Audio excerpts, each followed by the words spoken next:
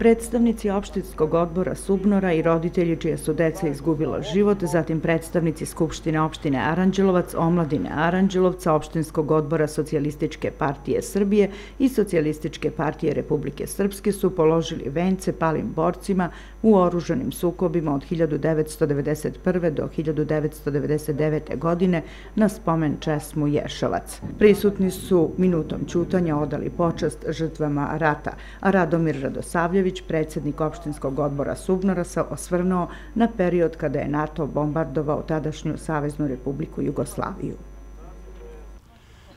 Prošlo je 23 godine od početka NATO agresije protiv Srbije i Crne Gore.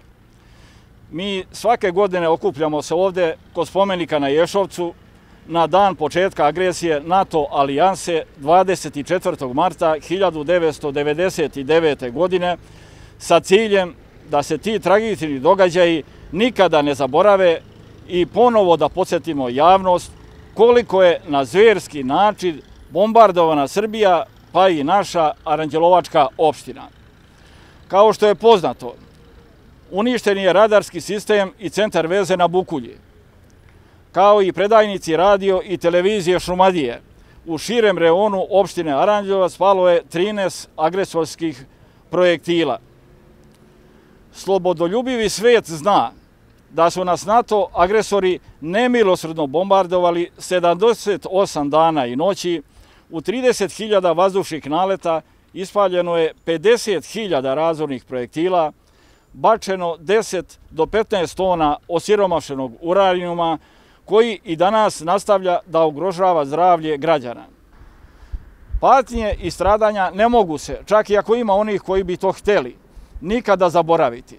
Zato smo ovde danas da položimo vence i cvijeće pred ovaj veličanstveni spomenik koji je podignut zahvaljujući angažavanju pokreta Svetozar Miletić iz Aranđelca, Subnora opštine i opštine Aranđelovac. Na spomeniku su uklesana 15 imena poginulih rodoljuba koji su živote dali za slobodu u ratovima od 1991. do 1999. godine sa teritorija naše opštine. Svojim prisustvom potvrđujemo da sećanja na poginule borce, kao i zločinačku agresiju, nećemo zaboraviti, a stalnim posjećanjem javnosti na te dane trudimo se da olakšamo tugu i bol rodbini na svoje najmilije. Neka je slava i hvala borcima koji su svoje živote dali za visoke slobodarske ciljeve i svoju otačbinu. Zločinačku agresiju nikada ne smijemo zaboraviti, a garancija za to su ovi mladi koji su prisutni ovom komemorativnom skupu. Obeležavanje dana sećanja na žrtve NATO bombardovanja upriličile su i učenice gimnazije Miloš Savković prigodnim recitatorskim delom. Čiko, ja tebe gledam s neba i vidim te kao na slici. Čiko, ja sam onaj cvet beba koji si ubrao u batajnici. Ja sam bila ona mala, milica, što je zadremala u maminom zagrljaju, a probudila se u raju. Sad nisam ona bulka rumena, već bijeli anđela kone bulke, što gleda svoje najdraže s neba i vidi tebe i tvoje ruke. U srcu ljubav jača od smrti, u glavi misao veća od glave. I to je odbrana zemlje. Strašni su ratnici pod zemljom, vojnici odbrane. Zaliha snage spremna ako živi klonu. I to je odbrana zemlje. Velika reč ni iz srca ni iz glave, već iz zemlje, ko biljka ili cvet, raste. I to je odbrana zemlje.